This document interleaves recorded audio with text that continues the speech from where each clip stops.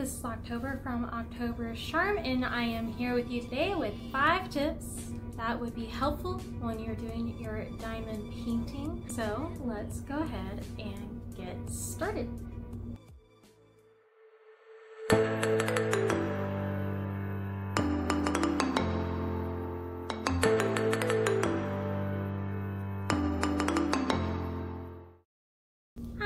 This is October from October Charm and I'm here with you today to go over five tips that I think are really helpful for when you are getting started on your diamond painting. I know this fad is kind of taking over, especially during this time when we're at our stay at home.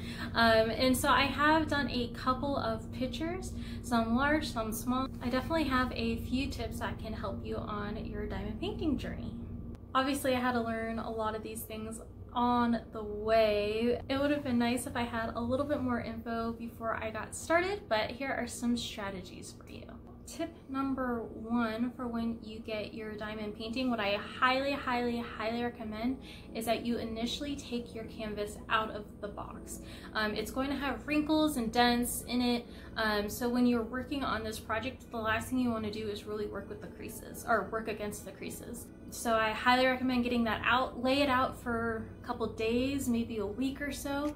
I have struggled through this before. When I got my first diamond painting, I immediately went to work and the diamonds that ended up along the edges or the creases, they ended up shifting a lot more than normal. So I definitely had to go back and rework them to make sure that they fit into the pattern that was given.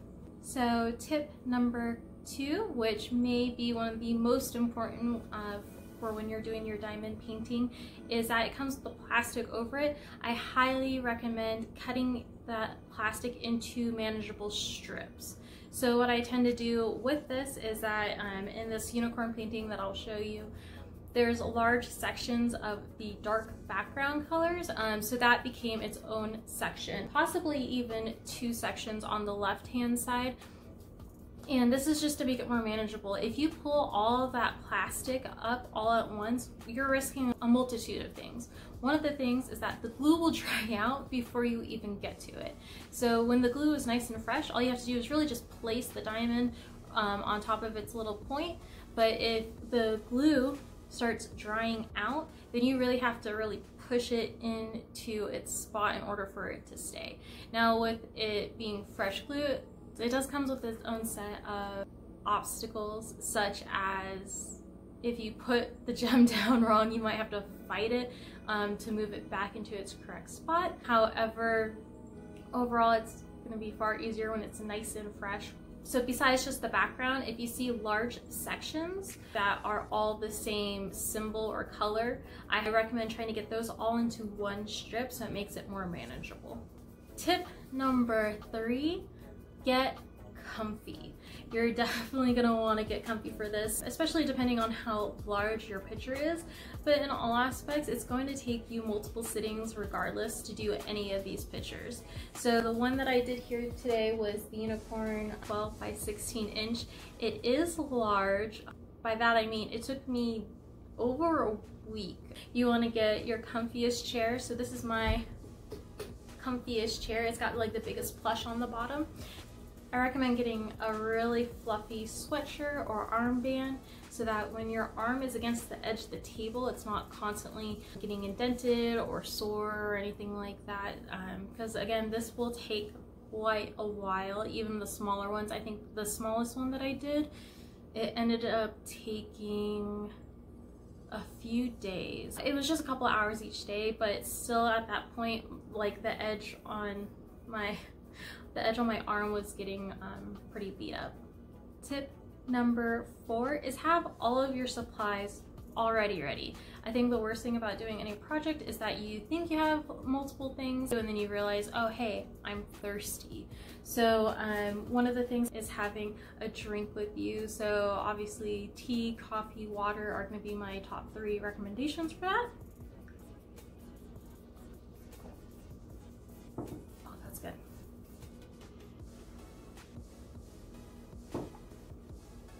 So you want to have your drink. You also want to have the supplies that they give you. So they usually give you like a stylus, some wax, your vessel, and then uh, little tweezers for when you need help. They give you enough wax. it took me only one picture to realize that I was not using enough wax. Um, so the wax is just used in your stylus to pick up the gems really easily. So this is the amount that they gave me two, uh, and this is all I used on it. So not very much. They gave me both of these. You don't have to worry about running out of wax like I was. I'm always like worried that I'm gonna run out of things. Another thing is that the gems, um, I highly recommend uh, laying them all out in order. It makes it a lot easier to just grab and go. And again, don't worry about running out of gems either. So if you lose a few in the carpet or on the table or anything like that, or they go missing, that's totally fine. They have plenty of gems per color. Um, so I have like a surplus of gems that I can use for other projects now. And then with the vessel, they come with this handy dandy plastic one. And it has these ridges in it, so it makes it easier to like shake the gems so that they all go on the right side so it's easier to pick up. However, where I live, I get a lot of static electricity. So even though it has a lot of ridges on there to make it easier for you to grab them, they still stick to the ridges the wrong way. So I actually use a, a larger vessel like this. Uh, it's a little heavier, so I don't have to worry about accidentally tipping it over. And then as well as it can fit a lot more. So when I'm doing the larger portions, it's easier to have a vessel that obviously carry a lot more. So you wanna have all your gems in order. You wanna have your drink of choice. Use as much wax as you want, and then the vessels. And tip number five. Now, I didn't necessarily realize I was doing this with the gem paintings, but I did notice it when I play like my video games or anything like that. Sometimes I forget to breathe. I know, it sounds ridiculous, but sometimes when I'm in concentration mood, I get way too focused on the tiny little details because you're looking at the codes and the little paintings and little gems and you have a lot of things going on. So just always remember to sit up straight and make sure you're breathing deep. But yes, definitely just breathe. Those were my five tips for your gem paintings. However, I do have a few additional recommendations. Now, these are all just strategy based. Um, so if you don't like it, maybe you can tweak it a little bit to suit your fancy. One of the biggest things that I do is that I put on a long movie or TV show that I don't have to look at. If you're putting on something that you're yeah, you know, you need to watch. Like anime, unfortunately, I listen to it, a lot of it subbed, so I can't actually be watching the show and doing this. Um, so things like Howl's Moving Castle, The Office, anything like that where you know what is happening regardless of whether or not you're watching, those are a huge plus. Another strategy or recommendation um, is I, so I'm right-handed, so I recommend working on your project from left to right, top to bottom. So this is just to avoid your hand getting pressed onto the gems. So it does take a while for the glue to dry. However, if you're working on top of it, not only are you gonna get the indents all over your hands and things like that, if the glue is still too new, you can be forcing the gems off of its point and then it, you're gonna have to go and readjust later. And then same thing if your glue becomes too old, if you're putting a lot of pressure on those gems, um, they might actually take off from the glue and stick to your hand and then you kind of have to rework it as well there. You know, if you're obviously left-handed, you know, work from right to left, again, top to bottom. That way you're not working on top of the gems. And finally, my third recommendation is to get a larger pitcher. So when I first started this, I got a smaller one because I didn't know if it was going to be worth the money. Um, however, what I did find is that you lose a lot of detail. So it's really pretty much like tattooing or TVs or anything like that, whereas if you aren't allowing your picture to have more pixels or more space, you're not gonna get as much detail. So I started off with a very small one and um, I did pick a picture that would it would allow for a little bit more wiggle room um, in terms of not being an exact picture. A solar system at night with like a couple on a beach that you could see like this big um, and then they were only like four gems and then you had the reflection on the ocean. So I did pick a picture that was conducive to small pixels. However, once I was done with that picture, if you don't know what it is, you probably aren't gonna get it just by looking at it. This one that I have here, it is, a, again, it's gonna be a 12 by 16 inch. I think this is great, especially for, um, I have just like a unicorn head with like a dark background. So I think this is a really great size for this picture. My Kat got it for me and so I think it's absolutely fantastic. And then going forward if I want to get something that's like super detailed um, I did notice that there's like some Sailor Moon uh, diamond paintings out there. In order to get that sort of detail though you you got to go much larger um, in order to be able to like actually make out their faces. As small as these gems are you're still not going to get that sharp edge or anything like that so those are all my tips and recommendations. Let me go ahead and show you some of the work that I was doing on this unicorn painting. This video is not sponsored and is not an ad. This particular diamond painting was actually gifted to me by my friend Kat.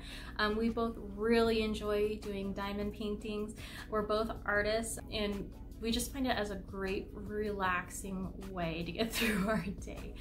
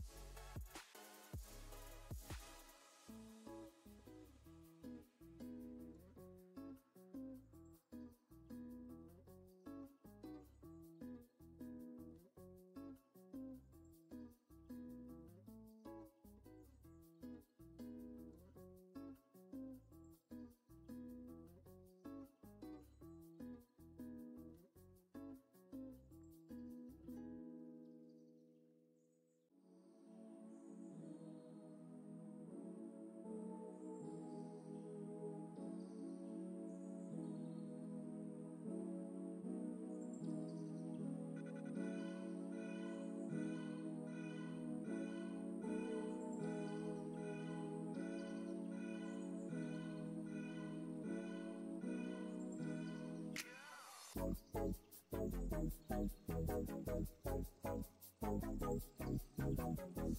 you.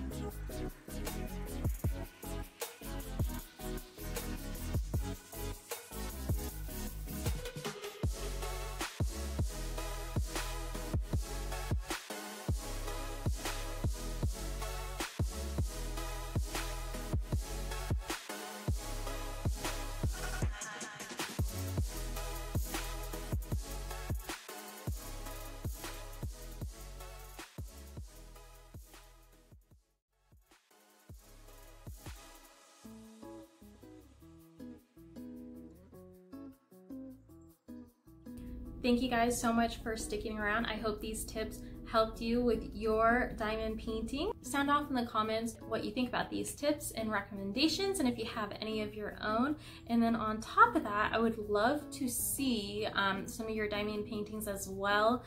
Or if you have any recommendations on which diamond paintings I should do next. So thank you again for sticking around. Please like and subscribe. It would mean the world to me. And check out my Instagram for some other great content. Thank you. Bye.